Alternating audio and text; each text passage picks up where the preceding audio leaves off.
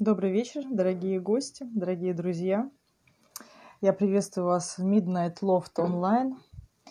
Наш ежедневный антистресс, наш ежедневный поток информации, наш ежедневный брейнсторминг. Мы не прекращаем креативить, общаемся с замечательными супермузыкантами. Сегодня мы решили расширить нашу аудиторию. И наш хэштег «Лофт-терапия» теперь охватывает новые и новые пространства.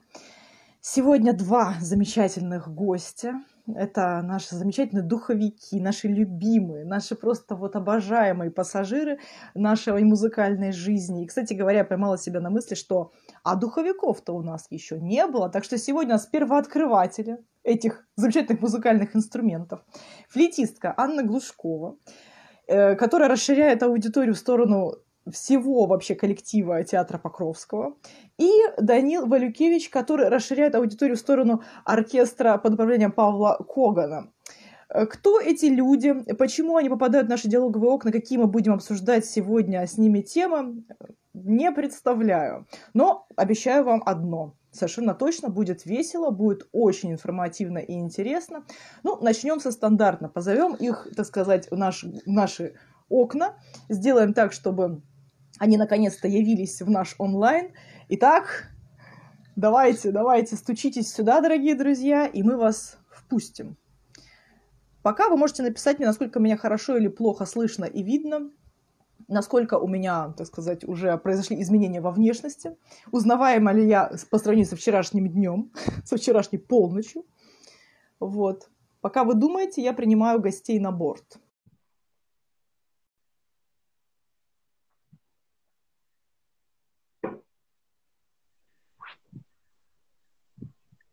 Так. И кто-то забыл обновить Инстаграм. Так бывает, когда окно не открывается, то есть когда слышно, но не видно. Да, бывает.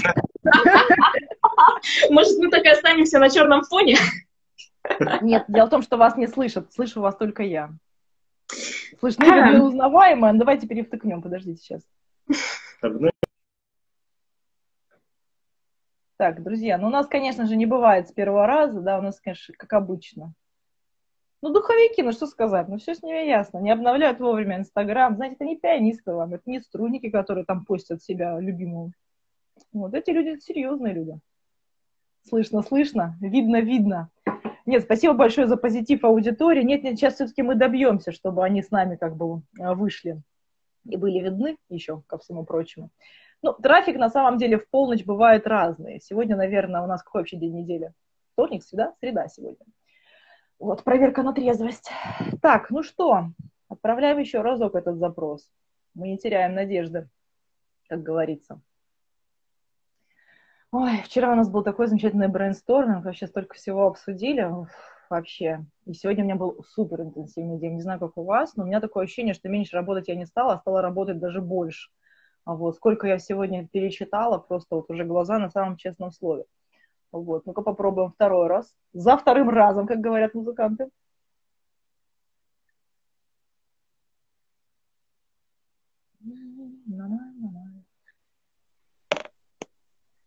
Ну что ж, Алис, я обновила, и ничего не произошло. Ничего не происходит. А ты себя видишь? Вы себя видите? Нет, мы себя не видим. Вот в этом-то и вся лажа. Что же мы ну, будем делать, дорогие друзья? Так, подождите, давайте спросим аудиторию. Я буду общаться сегодня черным квадратом Малевича, такого еще не было. А, вы видите, э, так сказать, наших гостей или нет?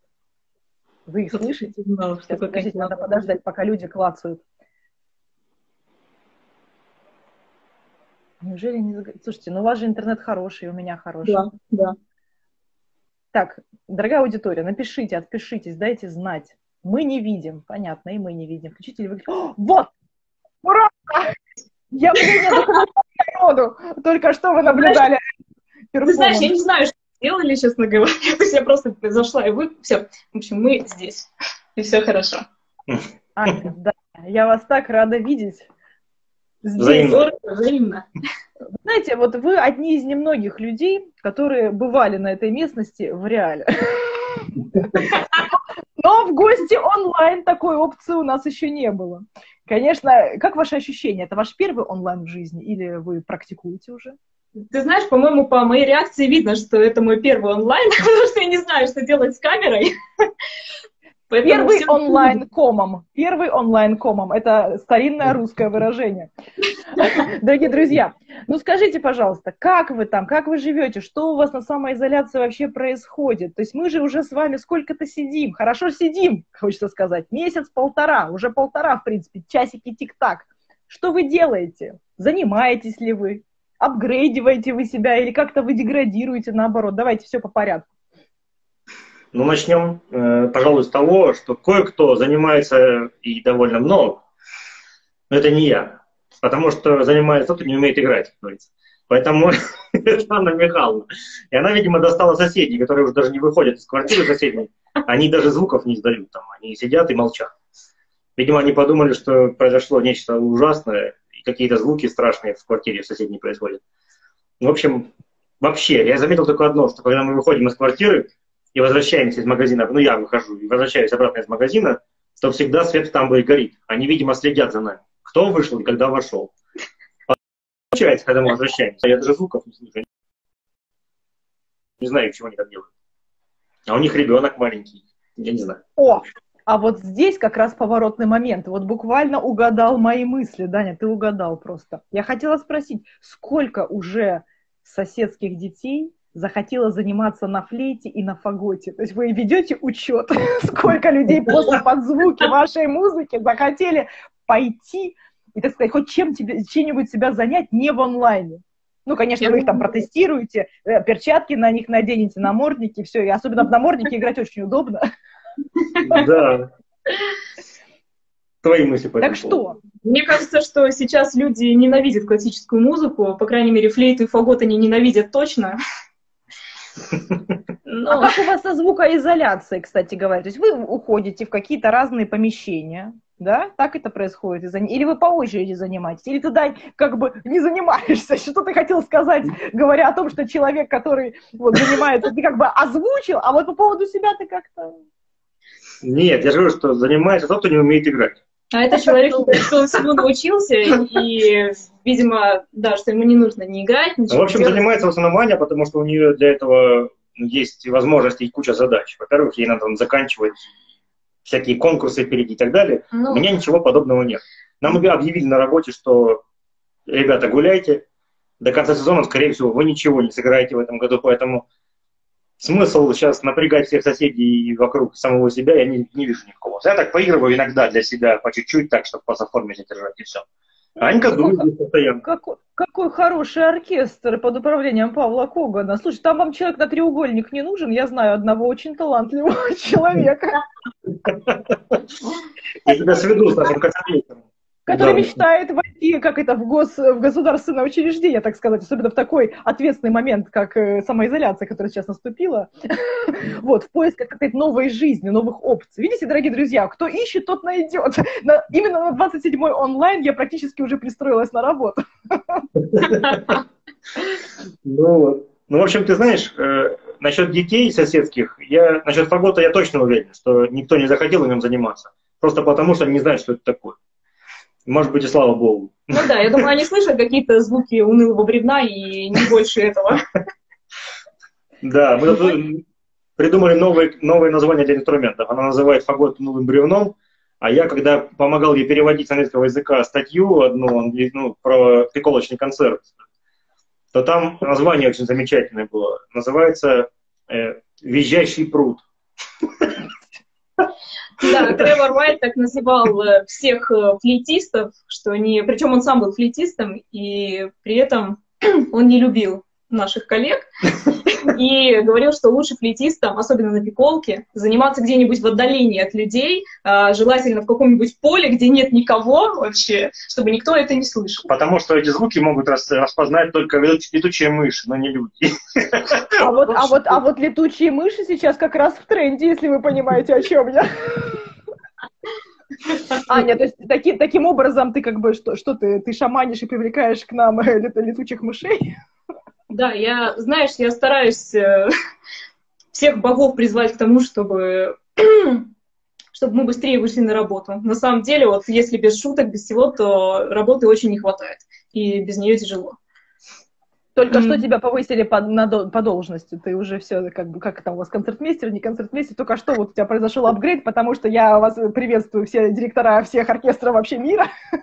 вот. Слушайте, на самом деле, давайте так, давайте серьезно. Вот по поводу работы мне интересно. То есть, э, получается, Дань, у вас нет онлайн опции, да, вот там сдачи партии. Ань, так, к тебе такой же вопрос, вот по очереди ответьте. Слава богу, у нас нету. И, ну, были слухи ходили какие-то, что мы запишем какую-то песню под, какой-то, под какую-то фанеру, потом это все нарежут, видимо, как-то под что-то подставят, играть, конечно, ничего не будем, естественно, потому что свести все это невозможно, сама понимаешь. У всех разный интернет, разное качество камер, связи и так далее, это все будет полная хренотень. И, соответственно, сказали, решили просто под фанеру у нас записать видео, как-то свести и потом кому-то показать, кому непонятно. Но эта идея, я так понял, провалилась с треском, Потом они хотели еще какую-то песню джазовую записать. Зачем, непонятно, нашему оркестру джазовую песню писать. Опять же, пока ничего не известно. Молчат, зарплату перекидывают каждый месяц, и все. И никаких слухов особых нет. Пока. Мне кажется, это идеально просто. просто идеально, Я тоже так считаю. Мне очень нравится.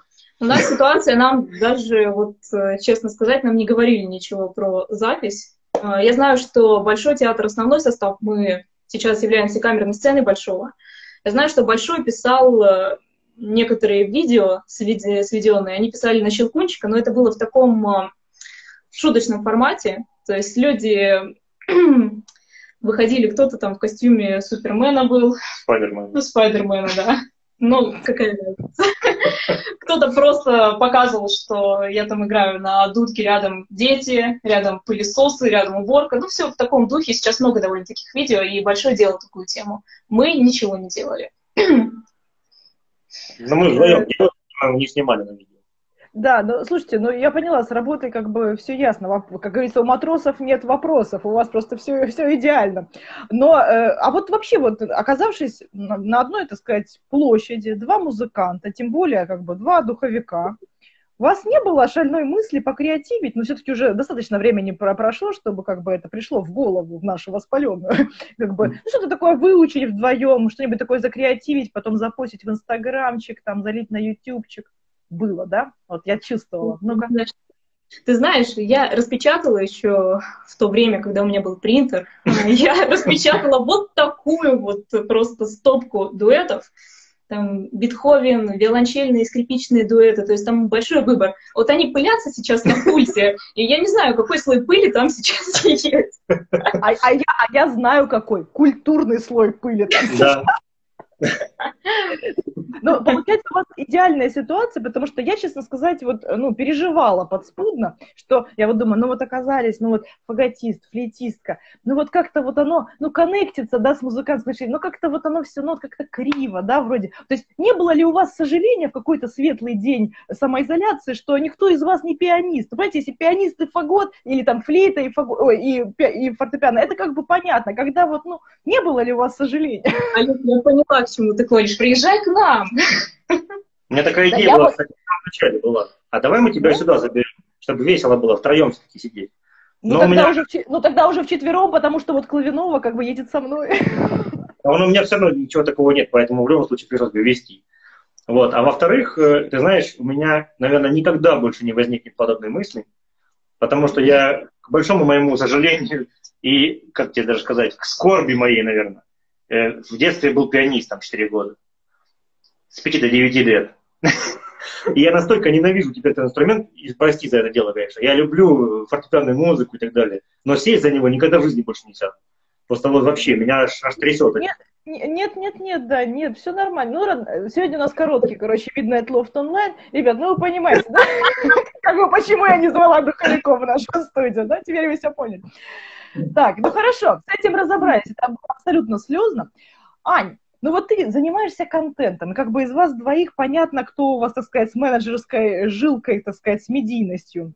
дружат, потому что очень легко разобраться, как бы у Ани есть Инстаграм, у Дани его нет, то есть, ну, тут все просто изи для меня, да, ты как человек, который постоянно вот что-то выкладывает, причем принимаешь участие в этом знаменитом челлендже, там, 100 Days of Practice, и постоянно какие-то мы слышим, ну, иной раз вообще сумасшедшие вещи, которые ты разучиваешь, причем так очень упорно, э, целеустремленно. Какие еще флешмобы вот к этой постоянной твоей активности, ну, добавились за это время? Может быть, ты стала раскручивать, там, не знаю, YouTube, как, допустим, это делаю я. Ой. Вот. Или что-нибудь еще такого плана. Ну, в целом, да. Во-первых, я наконец-то начала обрабатывать видео. То есть, ты знаешь, обычно я это дело делегировала кому-то, вот честно сказать, то есть кому-то из моего окружения. И если мне нужна была запись для отбора на конкурс или мне просто нужна была хорошая обработанная запись концерта, ну, в плане цветокоррекции, в плане обрезки, естественно, я это поручала кому-то. Сейчас я начала в этом разбираться сама, и в целом меня это увлекло, хотя первое время это выглядело э, так, что я сидела и короче, мат на мате, но, в принципе, потом э, я, друзья, взяла себя в руки, я начала учиться этому. В целом, оказалось, это не так сложно, но несколько видео я сейчас обработала, залила. Пока что буду развиваться дальше, наверное, тоже в этом плане. Смотреть, обрабатывать. Ну, может быть, поэтому соседи не выходят из квартиры, а не потому, что она на флейте занимается. Они очень... новые слова какие-то, которые раньше не слышали. Нет, это очень вероятно, но на самом деле у меня вот какая мысль проскочила. Как бы флейта есть, да, как бы там, не знаю, статьи твои есть. Теперь умение нарезать видео и даже как-то там над ними шаманить, это умение тоже появилось. Так это уверенный влог, это уже без пяти минут, понимаешь, влогер нашего, как это, нашего времени, влогер нашего времени. Классно сказала. Сам себя не похвалишь, никто не похвалит, ну, конечно. Вот, так вот, в чем прикол? Может быть, действительно пришло время ну, как-то, как я здесь постоянно поднимаю музыкантов на то, что, ну, хватит уже заниматься, все равно не скоро концерты, так придумай что-то другое, какой-то другой продукт, который еще будет и обучающим, интересным. Ну, ты знаешь, ты права, у меня эти мысли возникали, но ты сама знаешь, что для хорошего, качественного контента нужен как минимум фон хороший. То есть вот, вот это вот белая стена, это единственное, что здесь есть приличное. Вот честно. И причем она прилично выглядит только когда качество, ну, такое, как на камере, на фронтальной камере. Поэтому в этих условиях я думаю, что ничего я снимать помимо ну, вот каких-то таких отрывочных видео не буду, но в целом потом думаю, да, может что-то из этого возникнет. Нужна идея, нужно оборудование. Оборудование, хорошо, что у меня есть свое оборудование, есть э, микрофон, диктофон, есть камера, и это уже большой плюс, и из этого можно что-то выжить. То есть ну, осталось... Знаешь, я тебе хочу сказать, что я просмотрела, наверное, штук 20 роликов э, блогеры на минималках, и вот сейчас, в принципе, вот перед вами блогер на минималках. То есть, как бы вы это не знали, но я вам это озвучиваю. То есть, в принципе, для того, чтобы снять ну вот по нашим меркам, да, как бы реально такой, ну, условно качественный контент, уже достаточно гарнитуры, достаточно вот этой фронтальной камеры и как бы желание поговорить со своим телефоном. Этого, в принципе, достаточно. Я а это, а это, а это все у тебя есть, как бы, то есть, причем даже как бы с собой, и вот абсолютно не напрягаясь, и, и таким образом и фон уже сразу не нужен. Ну, в общем, короче, Ань, я прошла уже через, через, знаешь, через тернии к звездам именно в этом вопросе. Могу тебе дать такую легкую рекомендацию. Можно хромакей, научить ее хромакеем, короче, устроить, чтобы она основу как, как называется, слово хромакей. А на, зеленом, на зеленом фоне она будет рассказывать что-нибудь или играть. А потом сзади сделает Карнеги Холл, даже что угодно сделает. Какой-нибудь там будет сзади ходить какой-нибудь э, Исаак Перлман. Какая разница, Вот, кто? кстати, нам с тобой эта идея в голову не приходила.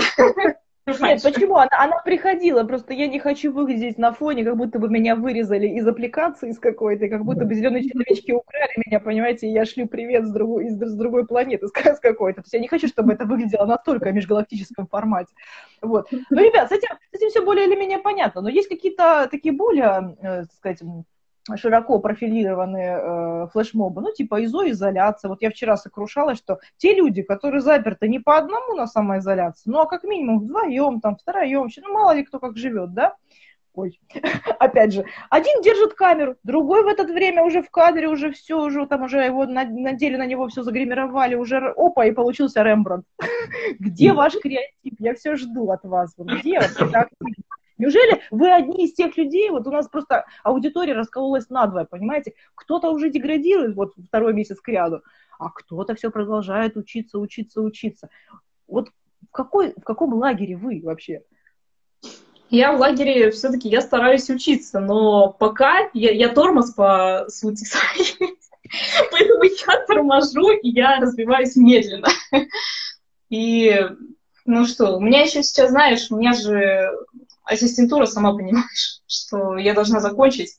И у меня сейчас появилась учеба, какие-то пары, появились э, там личный кабинет, например, в который мы заходим, мы загружаем туда какие-то лекции, какие-то конспекты. Вот и я честно скажу, я этим за два года занималась мало.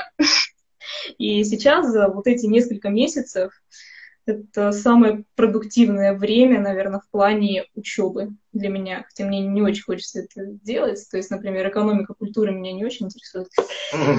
Но... А это очень зря. Все, что сейчас содержит в себе слово экономика, должно очень сильно интересовать. Как никогда, я бы сказала. Ну, ты знаешь, Аня, ты в этом не одинока, потому что это похоже на рассказ, эм, допустим, тех же самых лауреатов конкурса Чайковского, которые все время катаются, и у них нет времени учиться. Очень-очень напомнил мне этот слезный рассказ, потому что сейчас-то уже нет отговорок, сейчас-то уже все, конец, надо срочно как бы заходить в кабинет. Ну, я вообще не понимаю, какие проблемы вот даже с точки зрения организации. Вот э, сейчас для тебя, например, да, оказаться в полуночном таком формате, это не совсем естественное твое, так сказать, состояние, потому что все мы знаем, что ты у нас жаворонок. Это то, представляете, это расчное исключение, которое иногда случается в нашем а, музыкантском мире. Это, это невероятно вообще, как можно играть вечерние концерты, при этом быть жаворонком. Расскажи, как это? И как это оказаться в полночь здесь? Как ты держишься? Кофе. Пуэр, пуэр пьем. Но дело не в пуэре, на самом деле, а в том, что э, режим у нее был такой, наверное, когда была работа. В данный момент а немножко сейчас... по-другому. Я подрываюсь всегда раньше. А она валяется, кайфует. Я уже ну, завтра Даня, это нормальная ситуация, потому что сейчас вообще, я, я уже пошутила сегодня, говорю, ребят, давайте то, что как-то, ну, поднять дух окончательно, ну, онлайн и в полночь, это все, конечно, хорошо. Давайте в 8 утра я веду зарядочку на часок, в 10 утра, как бы, то есть разные группы такие, потом в 12 часов дня. Ну, а, извини, если до 12 не встал, ну, уже потом только, короче, мидно, это уже, уже все. В какую категорию пойдете вы, друзья мои? Есть такие музыканты, которые, наверное, в 8 утра к тебе придут, э, еще не ложившись. Вот. И это, скорее всего, будут духовики, либо народники, ну, или контрабасисты максимум, но не, не дальше, я думаю. Все, что дальше, обычно ложится раньше спать. То есть я две фамилии вношу в список на, на 8 утра, я, я тебя правильно поняла? Ну хорошо, ладно, понятно. Слушайте, э, ну тут еще такой вопрос, э, честно, даже, даже сегодня вот о себе испытала.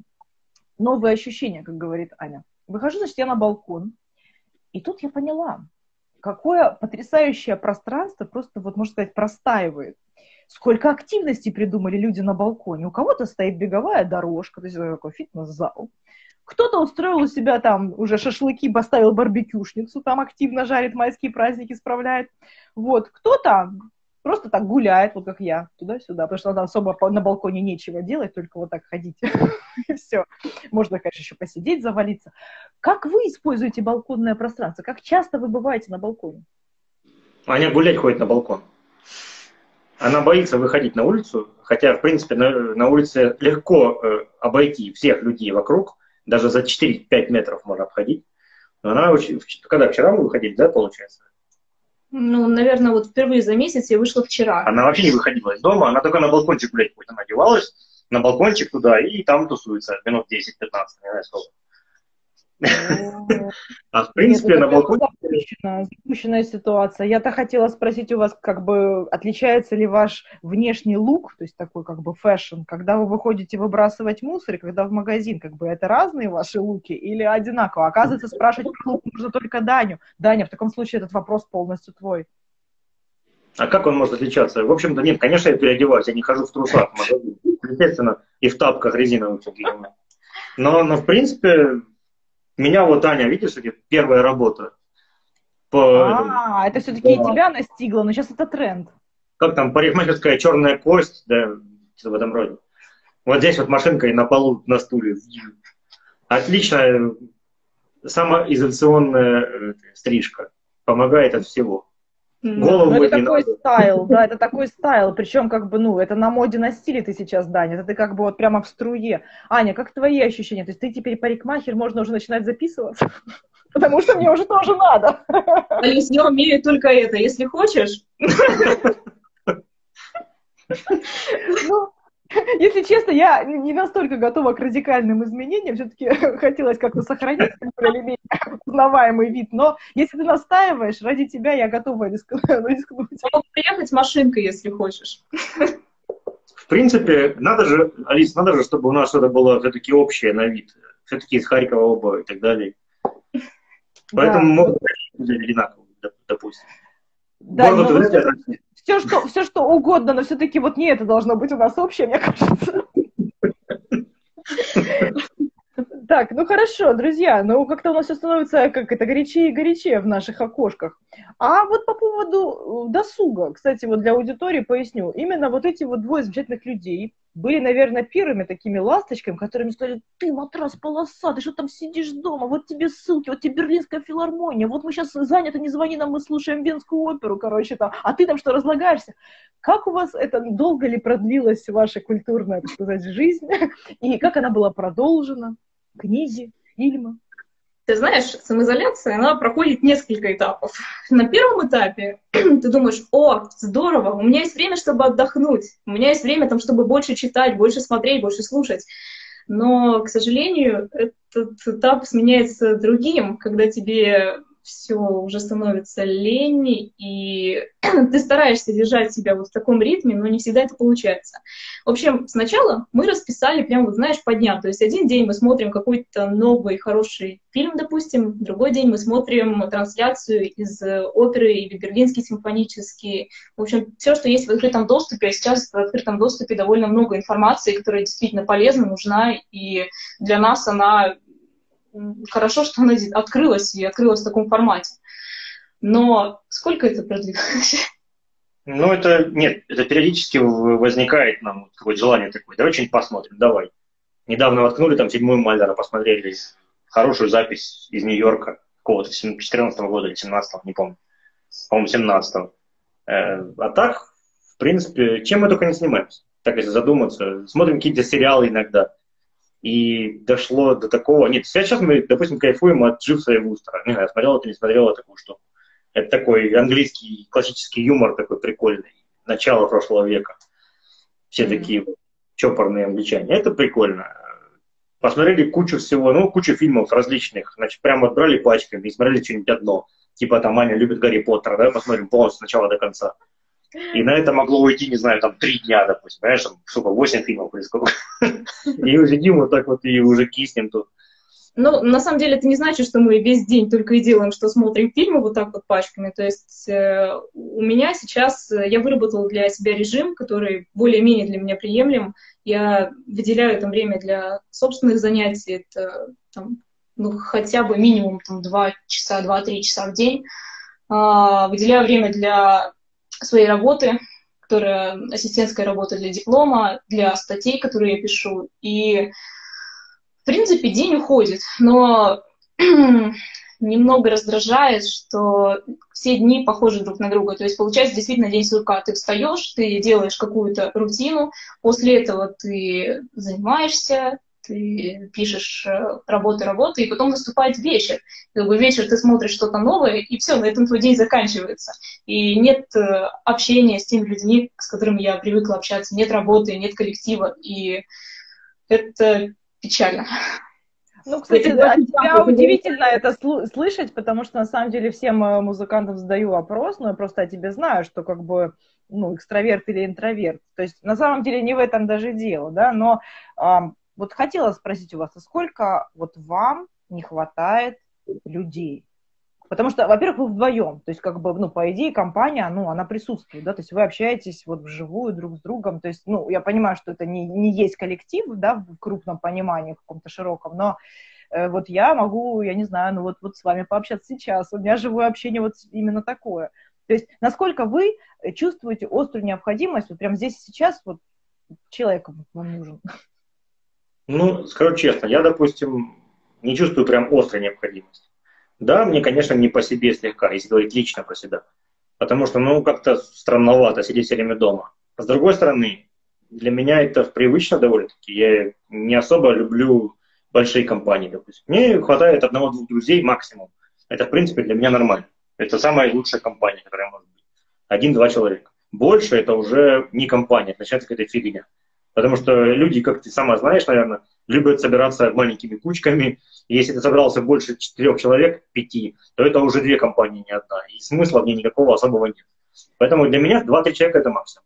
Но сейчас и этого нет. Э, вот Анька и кошка, в общем-то, все, что у нас в данный момент имеется. В принципе, как сказать, с другой стороны, если посмотреть, наверное, раньше, лет, может быть, 10 назад, я бы напрягся. А сейчас я смотрю на это по-другому ну, такой период, я с этим сделать ничего не могу, и зачем по этому поводу расстраиваться и напрягать всех вокруг, тоже смысла никакого в этом не вижу. Поэтому, ну, живем как живем, а дальше посмотрим. Ну, для меня было открытием, что я действительно начала скучать по людям. Ты меня знаешь, и ты знаешь, что я люблю одиночество, действительно. И мне в одиночестве есть чем заняться. Я не чувствую себя плохо. Но сейчас я действительно поняла, что мне нужны люди, мне нужно это общение, мне нужно какое-то там, другое мнение, мне нужно поговорить о чем-то. И для меня это было открытие. Но мне кажется, что на самом деле просто даже не столько не столько, может быть, э, люди там нужны или не нужны, может быть, я некорректно даже поставила вопрос, сколько просто сама ситуация, вот это информационное поле, да, которое так или иначе давит, или там даже достаточно выглянуть в окно, увидеть какую-то такую странную картину, что мало машин, нет людей, то есть, ну, как бы оно все одно к одному, как пазл собирается, и психологически начинает давить.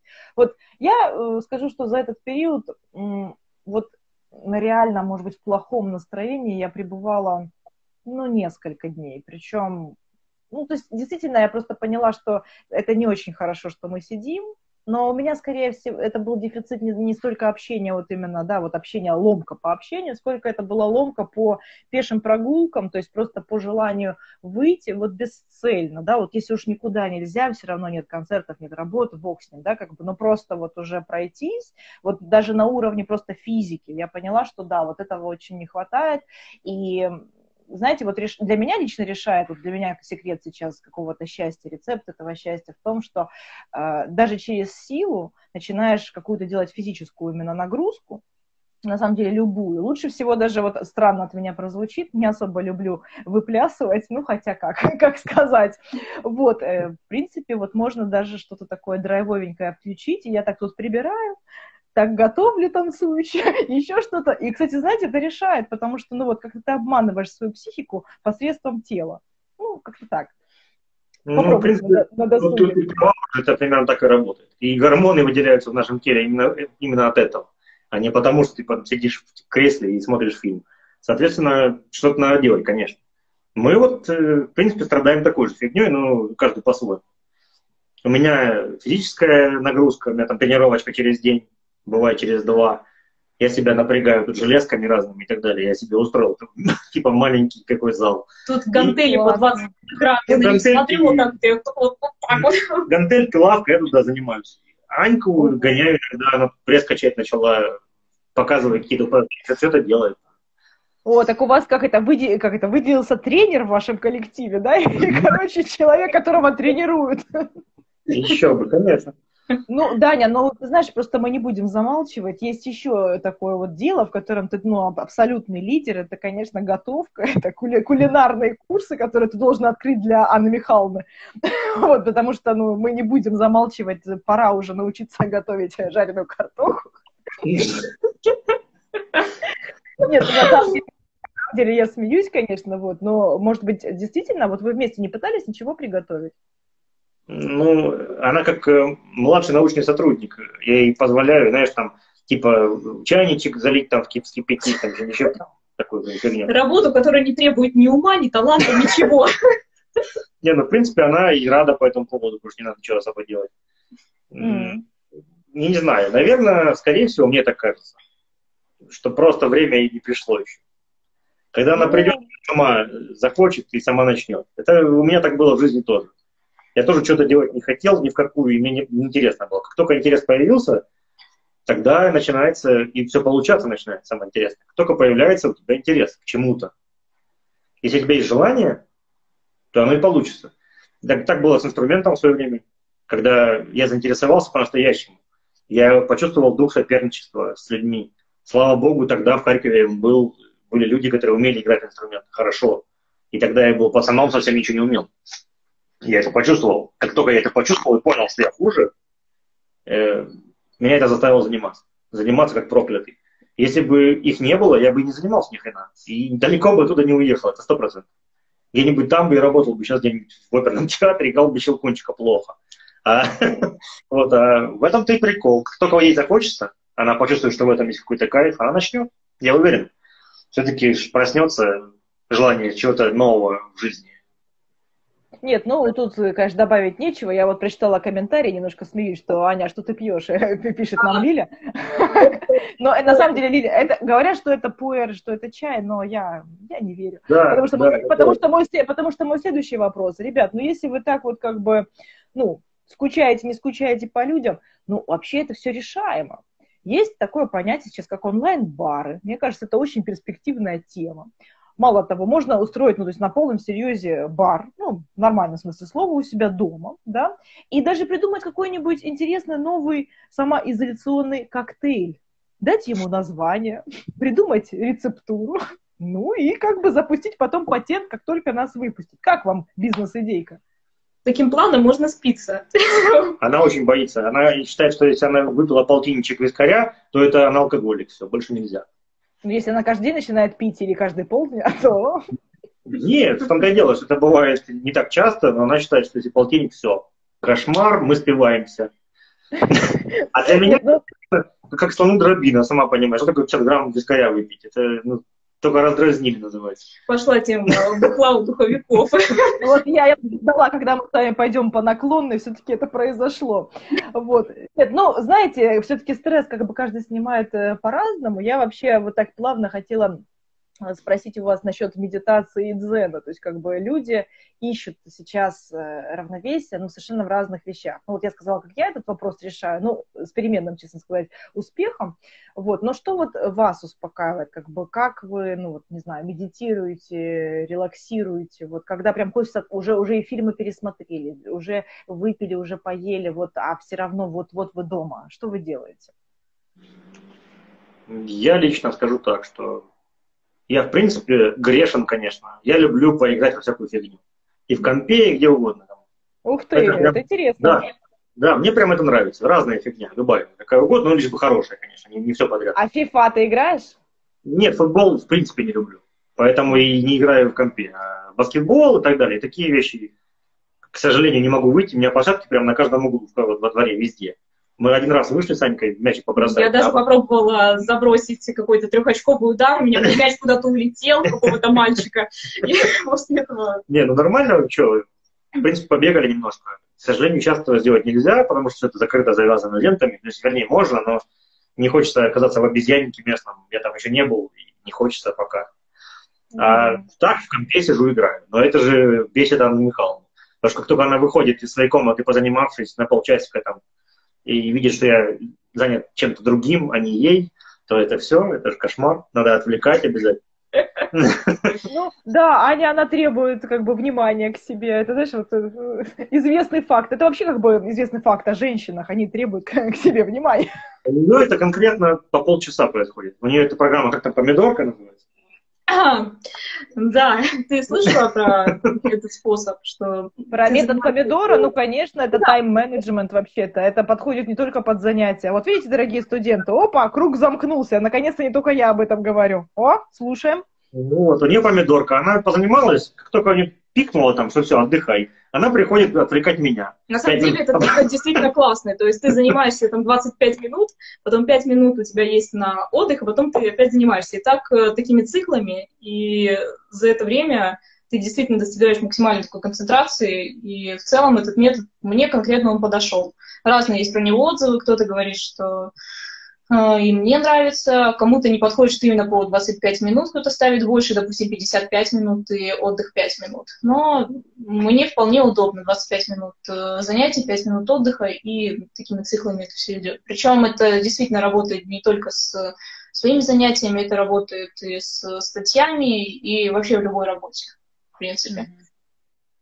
Слушайте, ну а давайте вернемся немножко в сторону брейнсторминга. Вот а, какие из онлайн-опций вообще вот вы рассматриваете, в принципе? Потому что, ну, поговаривают, что даже когда выпустят, да, какую-то часть вот этого онлайнового айсберга, все равно так или иначе попытаются, во-первых, оставить, во-вторых, ну, может быть, какой-то в этом толк и есть, да, потому что все-таки а, какие-то вещи, которые ты делаешь на удаленке, они все-таки экономят время и все такое. Ну, вот а, такой двойной вопрос. Не было ли у вас желания посетить какие-нибудь, а, ну, профильные или непрофильные вебинары, да, потому что люди сейчас э, как бы оказались ну, опять-таки, сами с собой, и какой-то испытывали все это время голод и нехватку времени, ну, по каким-то новым именно знаниям и опциям. Э, ну, это у кого-то касается, например, языков, у кого-то это касается, там, менеджмента и прочих-прочих вещей. То есть, как у вас с этим? У меня был вебинар по, по педагогике, то есть вебинар для преподавателей музыкальных школ. И в целом там была тема раскрыта этой самоизоляции, как заниматься сейчас, можно ли вообще заниматься в таких условиях. И в целом вебинар был интересный, то есть там хотя бы подсказали пару программ, э, через которые можно заниматься более продуктивно, чем через э, WhatsApp или Viber, как занимаются многие преподаватели. А, подсказали настройки более точные, чтобы можно было выставить уровень нужный, и чтобы он воспринимал музыкальный инструмент более точно. А не так, что если у тебя верхняя частота у флейты, у тебя все картит, и ты не можешь ничего услышать. То есть в целом это был, наверное, вот хороший вебинар. Его проводили Зоя Визовская и Антон Прищепа. И это был пока единственный вебинар, на котором я была. А что касается языков? Вот у меня тут недавно был, ну как, уже на самом деле давно, в какой-то из онлайнов я сказала, что типа, ребят, выписывайте хотя бы новые слова, не позорьтесь на английском, на двери, э, так сказать, туалета, с той стороны, с которой, как говорится, надо.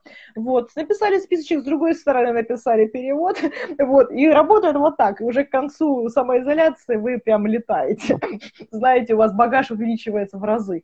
Как, вообще с языками? Не было ли желания подучить? Может быть, выучить вообще новое или там совершенствовать английский тот же самый? Ну, у меня было такое желание, но Даня довольно неплохо говорит. Мы когда ездили, то все, что касается разговоров, это все было на Дане, поэтому э, я думала действительно, но скорее посовершенствовать, знаешь, свой разговорный язык, потому что одно дело учить слова, а другое дело пытаться заговорить на языке. Ну, их это... применять, то есть должна языковая да? среда. Без нее... Нет, ну, если есть база какая-то, я имела в виду. Если базы нет, конечно, это как мертвому припарке. Ну, то есть, да, языку всегда нужно. Нужен определенный словарный запас самых простых обычных фраз, которые используются часто. И нужно их уметь применять. Для этого нужно общаться с людьми, хотя бы с одним человеком, хотя бы. Вот поэтому я и хотела общаться с ним хотя бы. Вот, а если ее нет, то можно выучить сколько угодно слов, толку от них не будет, это ну, бестолковое занятие. Ты знаешь, э, сейчас я этим не занимался, пожалуй, ничем таким, но сколько прошло уже, около года, наверное, да, около года прошло. Я в свое время учился на права таким образом. А, э, что это получилось? Я не ходил ни в какую школу, как это делают, там за партами сидят, а просто вебинары. Человек рассказывает, ты все это записываешь, Э, потом там же на сайте тесты проходишь и так далее, скачиваешь приложение специально с правилами новыми дорожного движения. Все это можно спокойненько изучить в метро, пока ты мотаешься на работу и обратно. Я таким образом и занимался. В итоге сдал без проблем этот весь тест, никаких проблем не было. С вождением другое дело. Конечно, ты вождение по онлайну никак не научишься. Но придется за руль садиться и кататься. Но, тем не менее, это уже полезно. Я так впервые с этим столкнулся. Я считаю, что у этого дела есть будущее точно. Если ты хочешь опять этому научиться, научишься. То главное не быть бараном и просто заниматься, да. А если Слушай, думаешь, что... Да, потому что э, как бы, я понимаю, что вот для меня бы тоже такая схема подошла, потому что любая другая бы точно, точно не подошла. Некуда просто впихнуть это в расписание в обычное. Да. Ну вот, у меня есть друг один, там же на работе, у нас у Когана, э, трубач.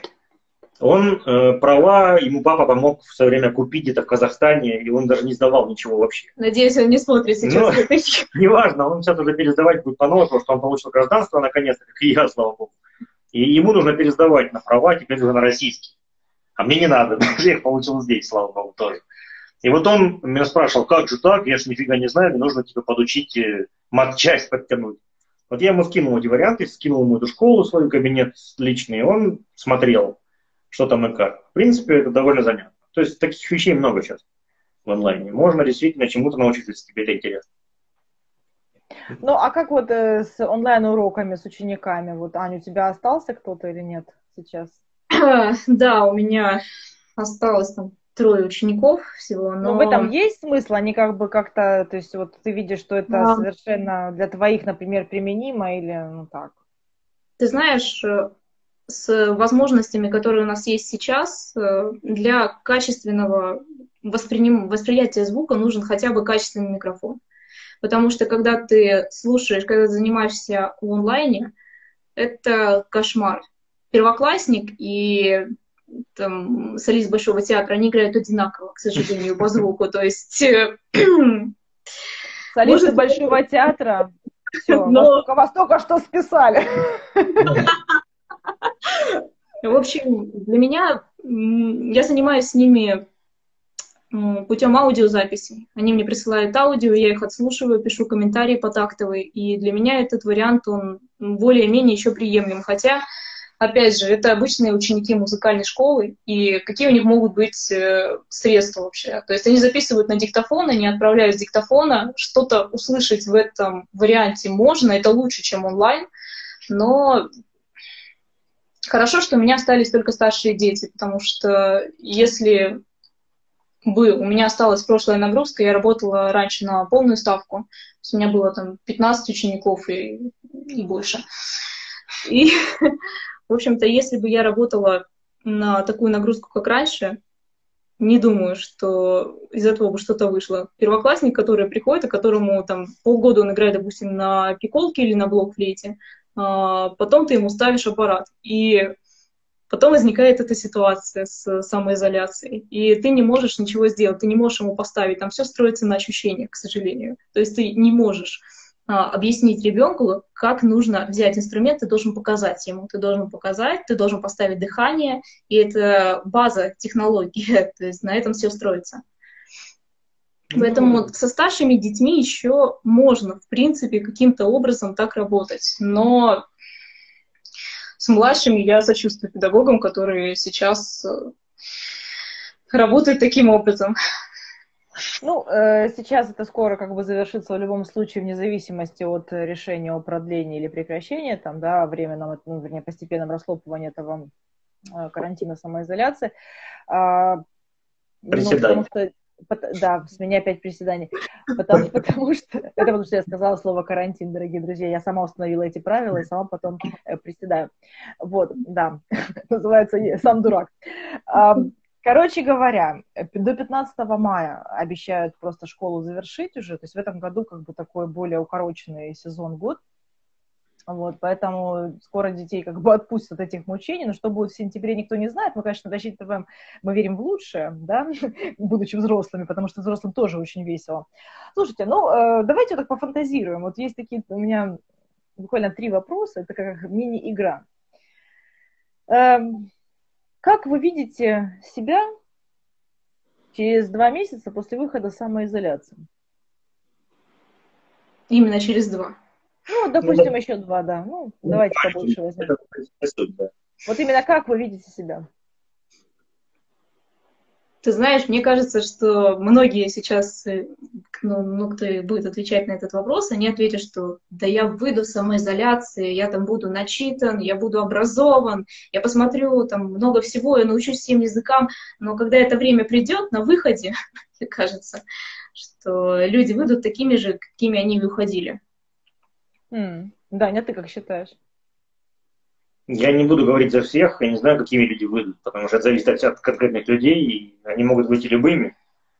Задача... Нет, ну я вас конкретно спрашиваю, вот конкретно Если говорить про, про нас, то скажу так, про себя скажу, что я выйду таким же человеком внутри, точно.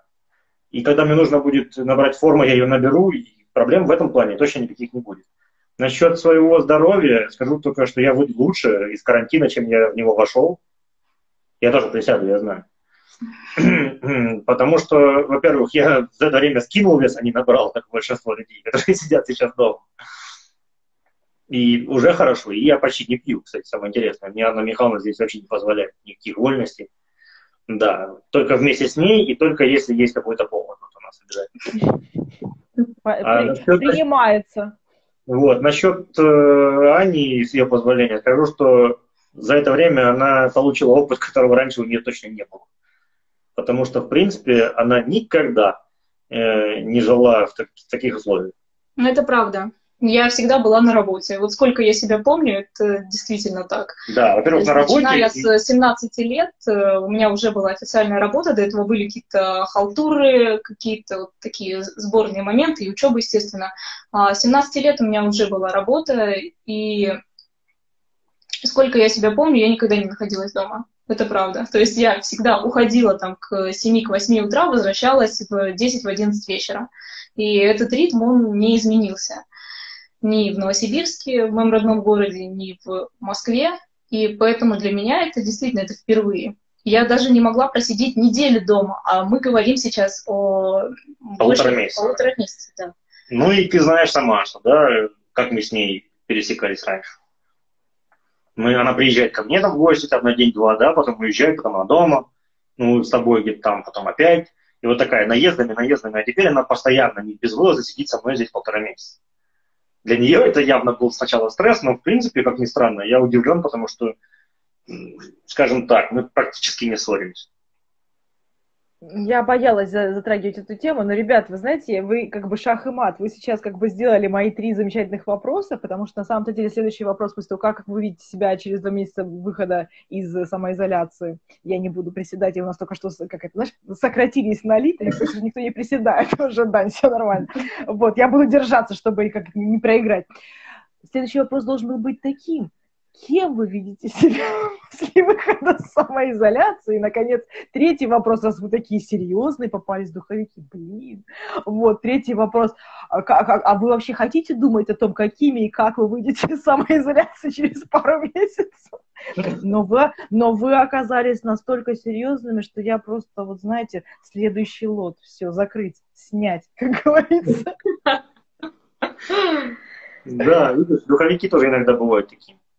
Да вообще вы как будто бы настраивались тут сейчас, не знаю, сдавать как минимум диссер диссертацию написали и сейчас это отчитываетесь. У нас тут вообще очень позитивно все, у нас все нормально, ребят. И, кстати говоря, вы сегодня закрываете вот третью серию, это получается 27-й онлайн. Верите ли вы? 27-й диалоговый онлайн. Как долго мы с вами к этому шли? Ну, это, кстати, большая честь. Это правда. Да ладно. Конечно. Нет, слушайте, на самом деле, как бы это я долго продержалась, потому что, ну, как бы можно было, можно было с вас, так сказать, начать. Но меня, но меня раскачали другие люди. Не, кстати говоря, вот как вам кажется, вот, в принципе, за неимением концерта, вот, ну, там, в связи с проектом, о, котейка, котейка, о, как я люблю кошечек, кошечек. Там она похожа на твою кошку. Я раскрою немного карты. Да. да, очень похоже. Да, действительно, на Луну она похожа. У меня тоже кошечка дома. Точнее, ну, теперь уже не знаю, где мой дом. посмеюсь, смех зале. Ну, у, у родителей, у родителей, да, котейки. Давай, давай не об этом. Нет, а так хочется говорить про котиков, потому что котики это самый главный контент интернета. Все любят котиков, знаете? Да. Щенят каких-нибудь маленьких там это все. Да, слушайте, ну вот как вообще такой вот формат, когда вот нет концертов и, э, в принципе, можно так по брейнстормить, так пообщаться. Вообще в этом есть какой-то смысл или глупость глупостью? Как вам кажется? Мне кажется, это, это замечательно. Честно скажу. Э, не потому, что делать больше нечего, а потому что общения именно такого как раз не хватает людям обычно. Знаешь, у меня есть э, куча друзей, знакомых, одноклассников, однокурсников, с которыми мы учились вместе и прошли уже полжизни вместе. Да? Есть, допустим, ну, к примеру я приведу, есть у меня однокурсница Настя Дзюба она была изначально. Сейчас у нее другая фамилия, уже давно, она уже второй раз А я ее знаю, да, да, да, да, да, да. Наверное, так, она в русской филармонии работает. Мы с ней учились в десятилетке вместе в Харькове, потом мы учились в академии вместе, тоже на одном курсе. И вот, а сейчас в Москве, и мы не видимся годами, и не общаемся годами. Хотя мы, в принципе, в одном городе находимся. Вот самое интересное, я чаще вижу людей, которые в других городах, и за границей даже, я чаще их вижу, чем ее. И это странно. И вот такое общение было бы, гораздо было бы, наверное, полезнее людям. И а сейчас время для этого есть. Пожалуйста, занимайся этим. Присоединяйся, как говорится, и болтай, если хочешь. Мне кажется, надо чаще с людьми. Это, это полезнее. Ну, не, ну, в общем, да, просто всегда были как бы эти видеоконференции, на самом деле, просто вот Инстаграм сначала запустил эти диалоговые окна, потом сейчас вот, я, насколько знаю, Фейсбук вроде что-то такое тоже там прикрутил, но они были вторыми, поэтому на Фейсбуке, допустим, делать такую активность уже вроде как кажется, это какая-то перепевка, вот.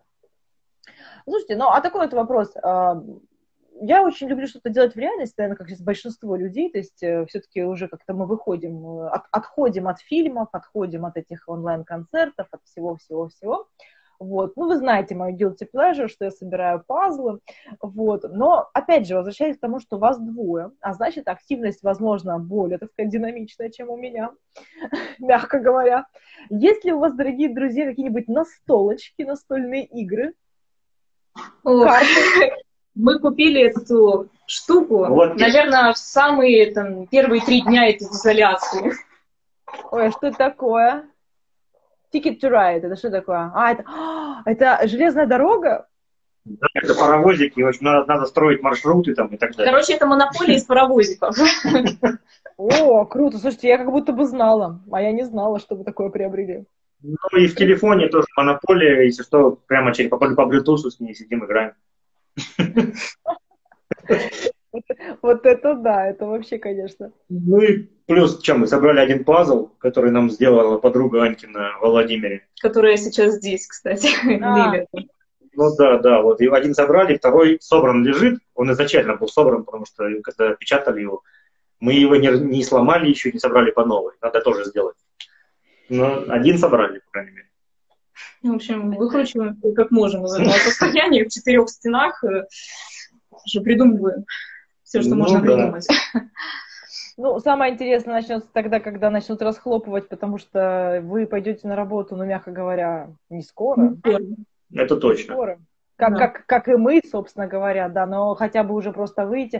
То есть, конечно, у кого-то разговоры только о том, что они увидят людей, увидят друзей, у кого-то разговоры о том, что надо срочно возвращаться на работу. Но, на самом деле, срочности сейчас такого слова в принципе нет. И, кстати, вот возвращаясь к тому, что ты, Аня, не жила в таком распорядке, ну, я тоже не могу вспомнить, когда это касалось меня, вообще, если когда-то касалось. Ну, просто это беспрецедентная история. То есть тут же даже вопрос не в том, что человек трудоголик, много у него дел там или мало, много у него работы или мало. Это абсолютно о другом, что даже когда ты бездельник, да, ты хотя бы можешь, ну, выйти и бездельничать где-то там, да, а здесь вот именно в четырех стенах, ну, не знаю, с другой стороны, меня это тоже чему-то научило. Мне кажется, что сейчас Э, как-то все настолько сжалось. Вот я говорю, ощущения мои лично, что дел меньше не стало, потому что количество там контента и того, что я делала обычно, в принципе, ну, оно плюс-минус такое же, просто обычно это живые концерты, да, которые я нарезаю, сейчас это какие-то вот запасники, бэкстейджи, в конце концов, эти онлайн, из которых я сделала сериал, ну, то есть, и вот оно все как снежный ком,